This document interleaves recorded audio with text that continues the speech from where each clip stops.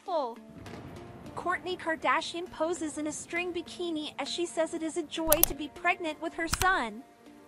Kourtney Kardashian posted several new images to Instagram on Tuesday where she was showing off her large baby bump while at a coastal home.